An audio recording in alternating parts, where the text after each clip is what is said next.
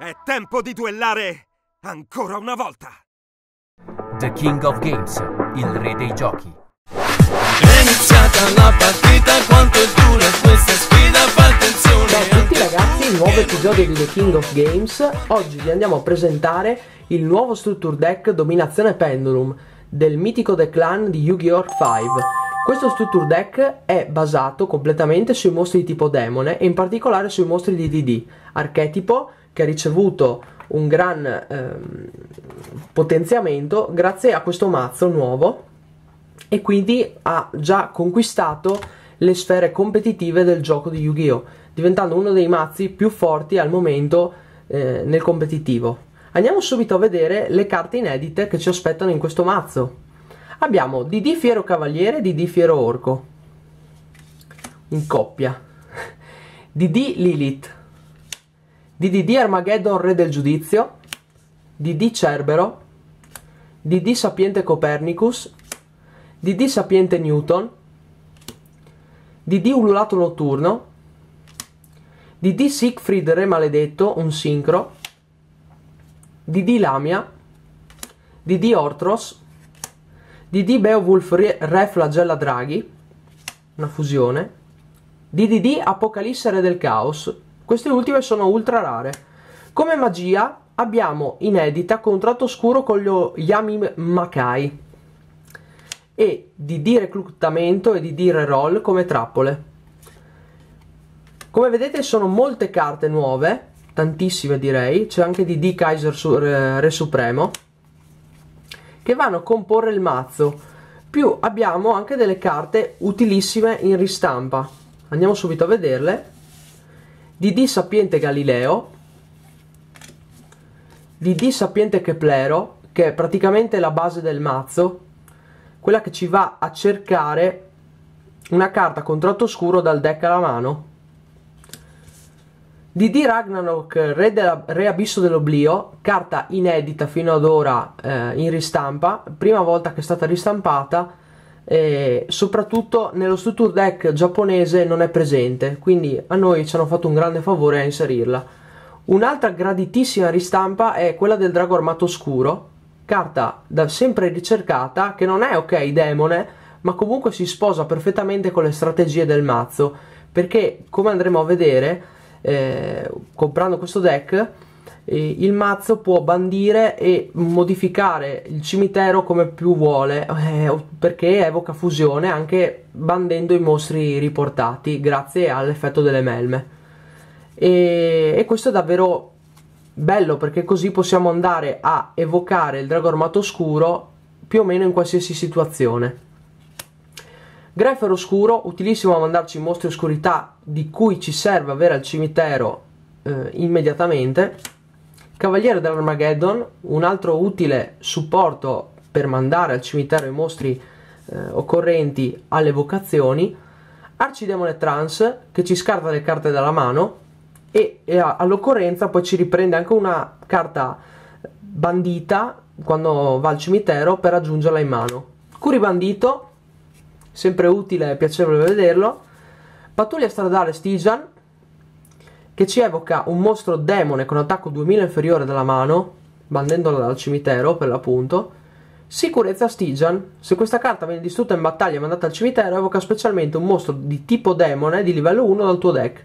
Quindi tantissimi demoni, eh, come ad esempio il Keplero o molti altri, eh, possono essere evocati esempio qui eh, non ci sono le melmine ma eh, possiamo andarle a trovare facilmente nel, nel, nelle bustine o nel megatin uscito di recente. Poi abbiamo contratto scuro con il portale contratto scuro con il re delle paludi e contratto scuro con il re delle paludi proibito. Queste sono le carte che ci fanno fondere perché non abbiamo bisogno di polimerizzazione per fare le nostre fusioni vi ricordo comunque che il mazzo può fare fusioni, exceed, sincro e ovviamente anche i pendulum che aiutano nelle evocazioni. Quindi è un mazzo che sfrutta appieno tutti i tipi di evocazione di Yu-Gi-Oh! E questo è più o meno una cosa inedita per, per il gioco. Sepoltura sciocca, manco a dirlo, qui c'è un, un movimento del cimitero non indifferente. Uno per uno che ci evoca dal mazzo i livelli 1, utilissimo. Peccato che sia limitato a uno come la sepoltura, perché sennò si potrebbe giocare anche in tre coppie, dato, data la sua forza. Fascino dell'oscurità, questa carta è a 3, quindi comprando tre mazzi abbiamo tre copie di questa carta, che è davvero difficile da trovare, pur essendo comune e ben uscita in tante espansioni. Eruzione oscura, che ci rivede dal cimitero mostri di 1500 meno oscurità, e qui sono tutti oscurità e rifornimenti d'emergenza, che proprio in caso di emergenza ci manda al cimitero le nostre trappole magie di che ci infliggono danni, purtroppo questo è il prezzo da pagare per fare le fusioni, recuperando altresì life points, 1000 per ogni carta mandata. Quindi attenzione a questa carta, può essere davvero forte. E anche questa era da tanto che non veniva ristampata. DDD risorse umane, contratto scuro con la strega, contratto scuro con errori, riciclaggio di contratto, Yori Shiro il sinistro, carta ultra rara di eh, Giudizio della Luce, ristampata per la prima volta comune, fuga dalla dimensione oscura, speranza di fuga e come ultima per il nostro extra deck, oltre ad avere sincro e fusione, abbiamo DDD Kesar Re delle Onde. Questo è il mazzo DDD, un mazzo che sorprende io vi invito a leggere anche la guida introduttiva e tutti i consigli che vi possono dare eh, i ragazzi di Konami per il, per il mazzo. Questo è il tappetino in carta. Qui abbiamo i consigli. Importantissimo ricordare che nel mega team, nei mega team di Yu-Gi-Oh!